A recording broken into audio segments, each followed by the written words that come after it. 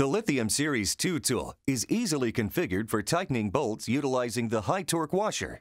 Slide the washer driver over the square drive and align the thumb screw with the flat on the spline. Tighten the thumb screw and challenge the driver to make sure it's secured. Place the HYTORC washer over the bolt with the knurled side against the flange. Thread the nut onto the bolt. Place the HYTORC backup washer over the stud on the back of the flange. Thread the back nut over the stud until snug. Power on the tool and set the desired torque, angle, and release values. Set fastener type to HYTORC washer.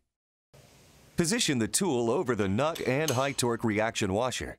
The external lobes on the HYTORC reaction washer should interface smoothly with the driver. Set the speed switch to rundown, if desired, to quickly run down the nut. Pull and hold the trigger to begin applying torque. Continue holding the trigger. If angle or release have been specified, the tool will pause briefly between each operation. Release trigger after the tool signals successful completion of all operations.